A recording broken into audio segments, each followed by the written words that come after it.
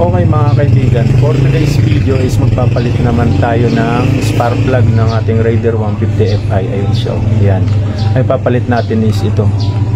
Yan. Puma Racing mga kaibigan. Ito yung code niya. Yan. Actually mga kaibigan, may ang code na yan is pang racing. Eh, sabi ko, try ko naman baka pwedeng pang daily para mas maganda yung response mga kaibigan.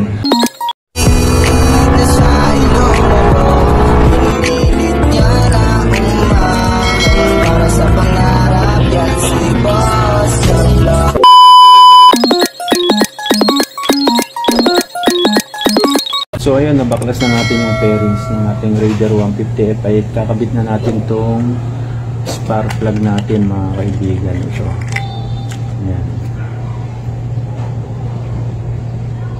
Pansinin nyo, may tatlong lobe. Ito ang UMA Racing mga kaibigan. Yung code niya naman is AB9R31. Ayan. Ayan, kabit na natin.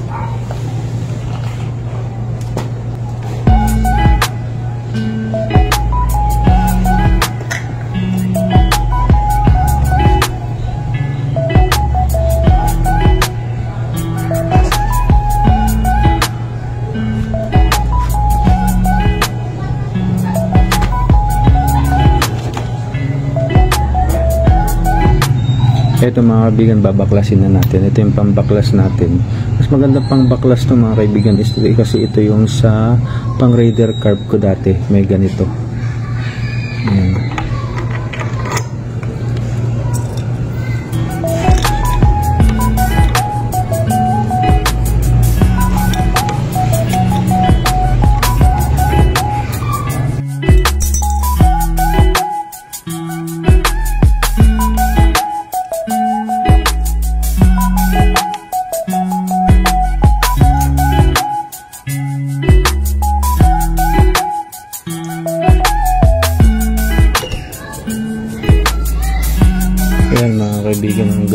sunog.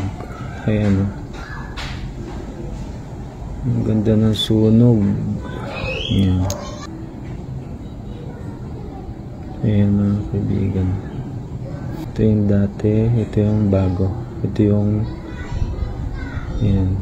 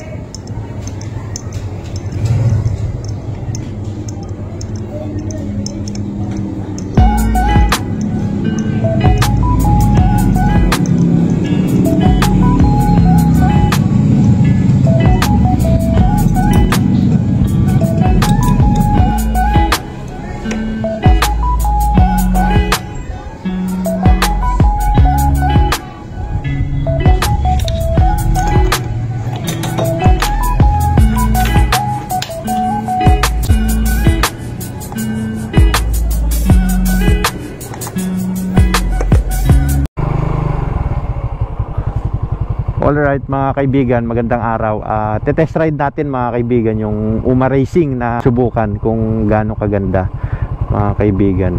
At ito na, try natin.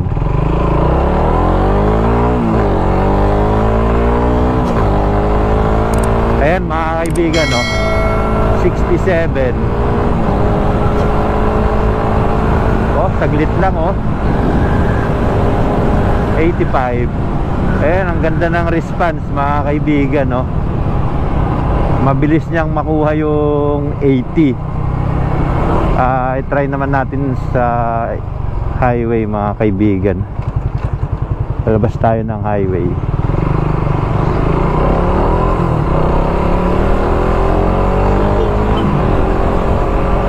Labas tayo ng highway mga kaibigan. Ite-test ride natin yung Uma Racing spark plug. na ah, binili natin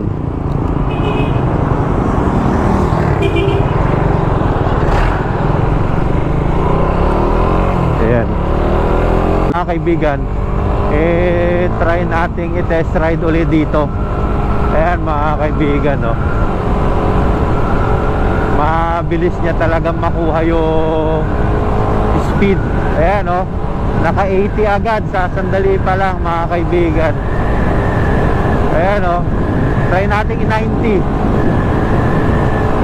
Ayan, no.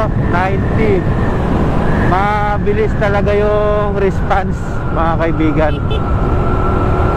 maganda yung Puma Racing talaga mga kaibigan mabilis niyang makuha yung speed na gusto mo sa sandali pa lang mga kaibigan is nadadali niya na agad yung gusto mong speed mga kaibigan. Kanina sa first attempt ko 80 mabilis niyang makuha. Second attempt 90 maganda yung response mga kaibigan. Try naman natin sa paakyat mga kaibigan. Okay mga kaibigan testingin naman natin tong Uma Racing kung okay yung response pagdating sa mga akyatan maliban sa sprocket ha syempre yung lakas ng power ng spark plug kung okay Ayan, paakyat na tayo mga kaibigan. Testing natin. Ah, maganda mga kaibigan, no? Maganda yung response, hindi siya hirap umakyat.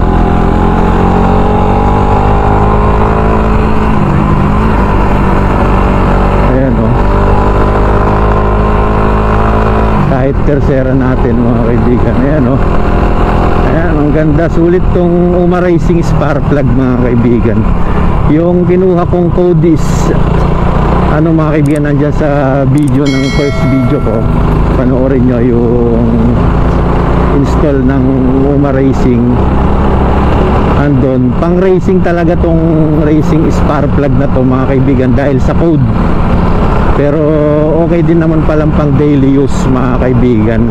At yung ayon lang to mga kaibigan sa ano ko ha, impression ko sa actual na pag-install ko at paggamit nung Uma Racing spark plug na pang 4 race only yung kinuha ko mga kaibigan sabi nila hindi pwede pero ang ganda ng response